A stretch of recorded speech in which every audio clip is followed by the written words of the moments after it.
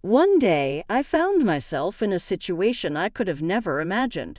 It all started when I took my husband to the doctor for a regular checkup. What was supposed to be a routine visit turned my world upside down. Dr. Lawrence, with a grave expression, shared some shocking news about my husband. The severity in his eyes told me this was no joke.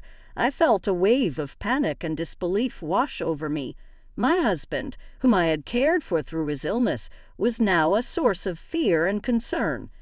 Dr. Lawrence urged me to consider my safety, suggesting I might need to distance myself from my husband. His words left me feeling overwhelmed and scared. My name is Betty Frieden, and I'm a 50 year old who has dedicated 10 years to working at a leading pharmaceutical company. That place has become my second home, offering comfort and a sense of belonging. Despite my age, I've continued to work full time earning the respect and admiration of my colleagues.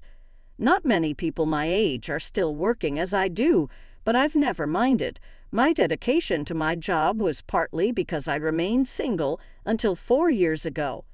My manager, Gerald, and I shared a close bond, partly because we were both single. He once jokingly asked if I was ever going to get married, a comment that could have been taken the wrong way, but I knew it was all in good humor. Around that time, I was secretly seeing Richard, who would later become my husband. Richard was a bit older, previously married and divorced, and like me, wasn't interested in having children. We met through a marriage consultation service, seeking companionship for our later years. Choosing to keep our relationship private, we didn't share our plans with anyone, even as our manager made light-hearted jabs about marriage. Eventually, Richard and I tied the knot quietly, without a ceremony, simply signing the necessary paperwork at City Hall. The simplicity of the process surprised me, but I was excited for our future together. But now, faced with Dr. Lawrence's alarming advice, I was forced to reassess everything. My feelings of compassion for my sick husband were now tangled with fear and uncertainty. Dr. Lawrence's words echoed in my mind, urging me to take action for my own safety. As I stood there trying to process the situation, I realized I needed to make a decision, and fast. The life I had known and the future I had envisioned were suddenly on uncertain ground. I'm LA, and my husband, Richard, works at a factory. To be honest, I earn more than he does. Richard started his job there right after finishing high school. As for me, I grew up in an orphanage and always dreamed of being independent.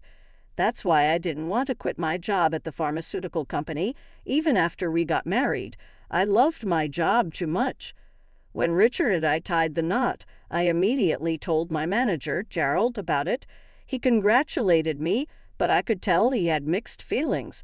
Maybe he felt a bit lonely because I, his buddy in singleness, got married first.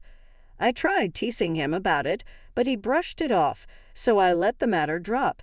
Despite Gerald's reaction, I was over the moon about starting a new chapter with Richard. I imagined all the wonderful things our future would hold, but reality turned out to be less shiny than my dreams. Life as newlyweds was pretty standard. Not much changed for me. I kept working, and the biggest change was probably moving to a more rural area and commuting by car instead of bus. Richard and I shared my old car because he didn't have one. About a year into our marriage, though, things started to get rocky. Richard began showing signs of depression. He seemed off, hardly eating his breakfast, getting lost in his thoughts, and even getting small things like condiments mixed up. His clothes didn't match, and he became quieter at work and at home. Although I've always appreciated Richard's quiet strength, his silence became too heavy, making it feel like I was living alone. This loneliness crept up on me as I noticed these small but significant changes in him. It dawned on me that Richard might be dealing with a mental health issue. Watching someone you care about struggle without knowing how to help is incredibly hard. I decided to take Richard to a clinic that specializes in mind and body health, where he was diagnosed with depression. I had a basic understanding of depression, but hearing the diagnosis made my world feel a bit dimmer. The doctor explained that the best way to tackle depression is to address its root cause directly. However, pinpointing the exact reason for Richard's depression was challenging. He had been working at the same factory for years without any issues, and nothing significant had changed in his job. If anything, I worried that perhaps our marriage had somehow contributed to his state. During our conversations with the doctor, I assured him that we were living a content life and couldn't identify any direct pressures at home that might have led to Richard's condition. The doctor encouraged us to return if we noticed any changes or had any insights into potential causes of his depression. Despite multiple visits to the clinic, we couldn't find the root cause of Richard's distress. Over time, his depression only deepened. On his worst days, Richard would barely get out of bed, plagued by headaches or calling in sick to work. His appetite vanished and he lost a noticeable amount of weight. Eventually, he was unable to continue working and had to leave his job. Richard felt terribly guilty for putting all the financial burden on me, but I reassured him that I was okay with working. My primary concern was his well being. It was tough to see him so affected, and I constantly worried about him, especially when I was at work. There was an incident where he went out and couldn't find his way back home, which made me fear he was battling not just depression, but potentially dementia as well.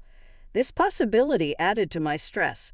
When colleagues asked about how things were going, I had to admit that Richard wasn't improving. Seeing someone you love struggle so much without a clear way to help is incredibly difficult. Gerald noticed I was looking particularly worn out one day and handed me an energy drink. Drinking it made me feel a little better, and I was touched by his gesture of support. He reminded me that we're all in this journey together, and his words nearly brought me to tears with everything going on with Richard. I hadn't realized how much stress I'd been piling up on myself. It became clear that I needed to keep myself together, or else I might break down. So I threw myself into work, trying to maintain some normalcy in our lives. One year has flown by, and things with Richard haven't improved. In fact, they've only gotten worse. As our third wedding anniversary approached, I couldn't see any light at the end of the tunnel for his condition.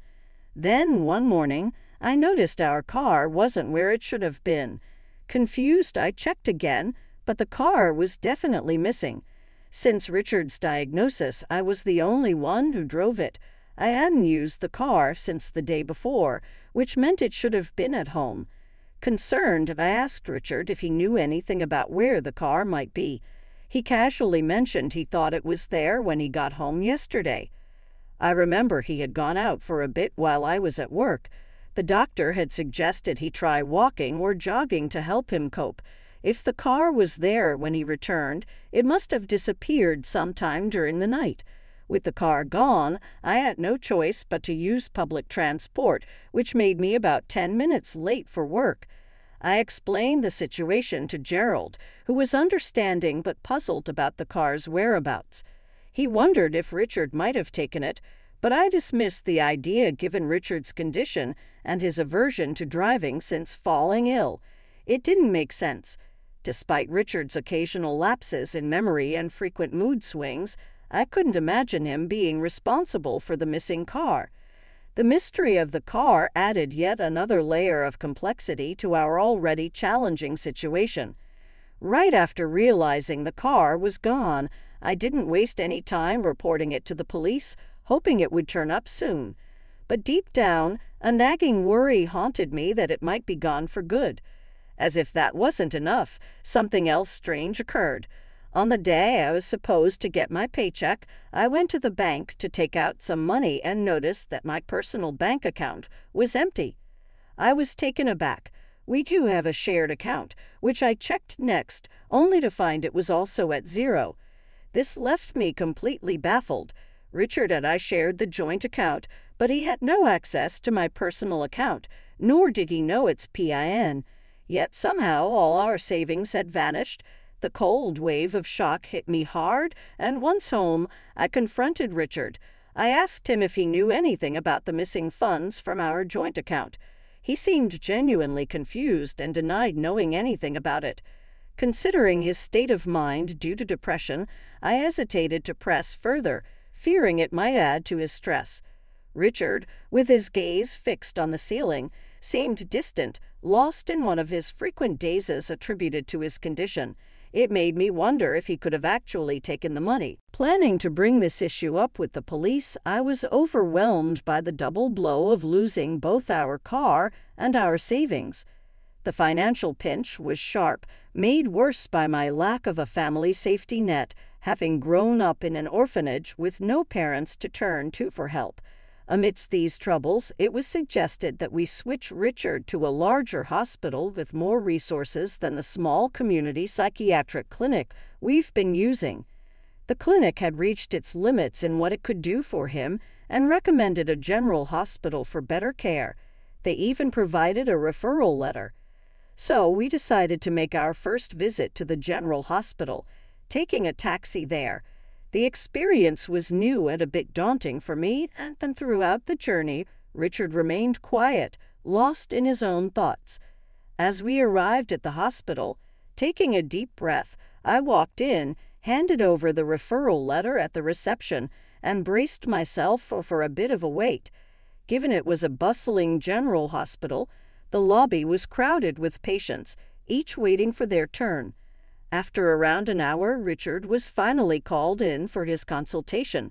While he went inside, I took out a book to pass the time. But barely had Richard entered the doctor's office when a nurse approached me. Excuse me, are you Mrs. Simmons? she asked. I confirmed, and she mentioned the doctor wanted to see me. I was used to discussing Richard's condition, so I assumed it was a similar situation this time and followed her, albeit with a bit of anxiety. The nurse led me to a different room where I was greeted by a doctor who looked about a decade my senior, with graying hair and a kind demeanor. Before I could even settle in, I asked if this was about Richard's condition. He nodded gravely, and I prepared myself for potentially bad news. The doctor's next words took me completely by surprise, however. He urged me to distance myself from my husband, revealing that Richard had been arrested for fraud ten years ago. My mind spun with confusion. Why was this coming up now during a routine medical visit? The doctor explained his suspicions about Richard's depression, suggesting that he might be pretending. He recounted recognizing Richard from a surgery ten years ago where he had treated a deep cut on Richard's leg. The revelation was jarring. Here I was, thinking we were addressing Richard's mental health, only to discover his hidden past and a possible deception about his current state. This unexpected turn of events left me reeling, trying to reconcile the caring husband I knew with the person the doctor described. When the doctor mentioned recognizing a large scar on Richard's right leg, everything started to make sense. I knew of the scar, but never knew its origin, as Richard had never mentioned it. Learning that the doctor before me was the one who had treated Richard's injury years ago felt like an unbelievable twist of fate. The story unfolded further when the doctor revealed that Richard had injured himself during a dispute with his former wife, a dispute that arose because he had swindled her. He had stolen her luxury items and money. Shockingly, he had also feigned dementia during that time, manipulating his wife into lowering her guard before committing the fraud. This pattern of pretending to be ill to facilitate his deceit was appalling. Hearing about Richard's criminal past and his arrest was staggering. I hadn't looked into Richard's background before marrying him. Being alone most of my life, I was just happy to find someone willing to be my partner. The doctor's stern warning that Richard could be a danger to me sent chills down my spine. There was a seriousness in his tone that made it clear this was no laughing matter. The realization hit me hard. I had been deceived. In the days that followed, I struggled to act normal around Richard while secretly planning my next steps. I decided to set up surveillance cameras around our home to watch Richard's activities when I wasn't there.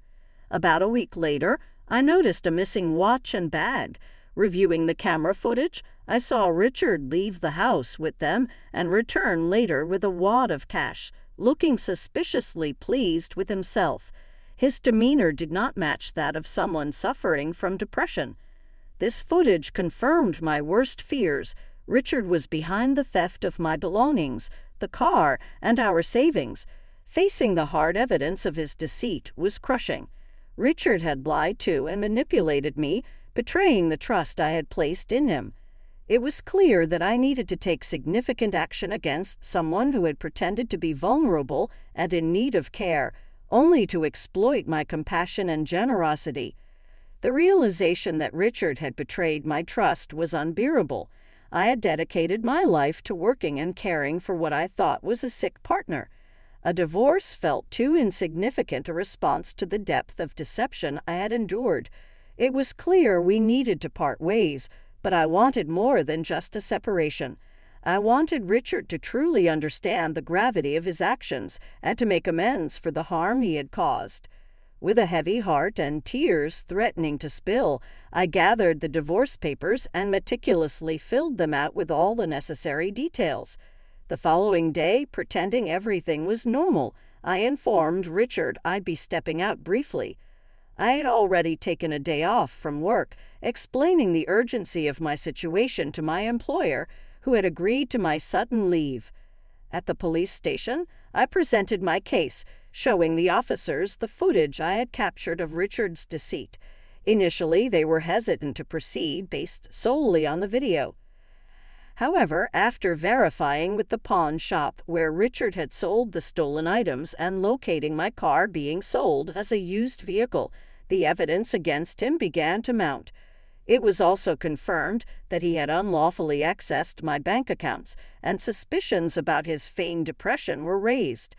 As the truth unraveled, I was overwhelmed by a complex mix of relief and sorrow. The police decided to act swiftly, given Richard's criminal history, and prepared to arrest him. Returning home with the officers in the early afternoon, I found Richard at home visibly startled by my unexpected presence and the sight of the police.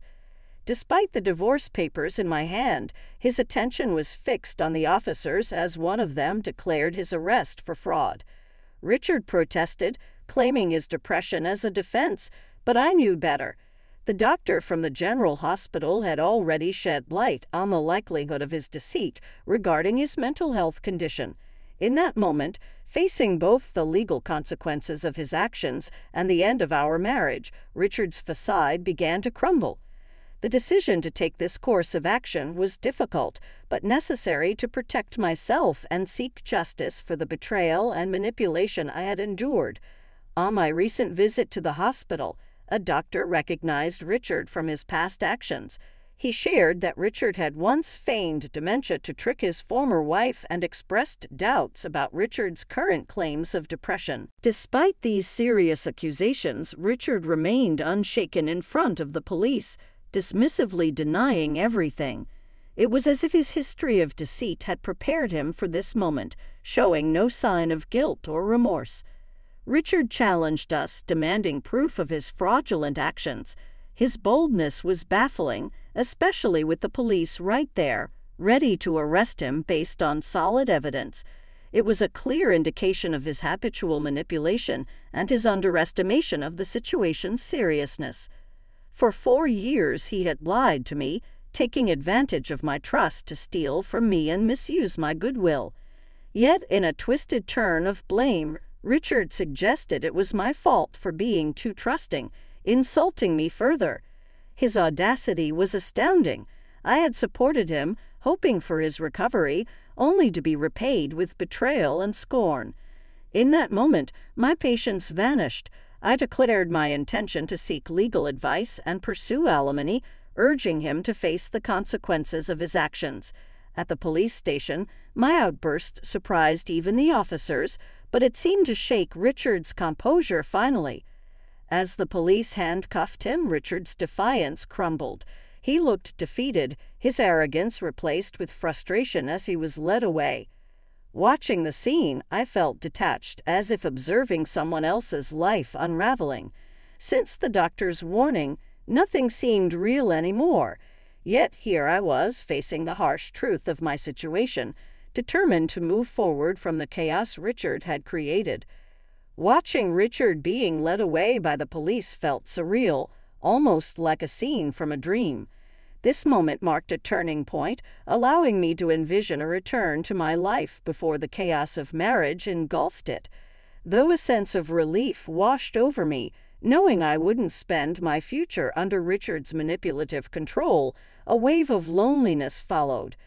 Having waited more than 47 years to marry, the prospect of solitude once again cast a shadow over my newfound freedom.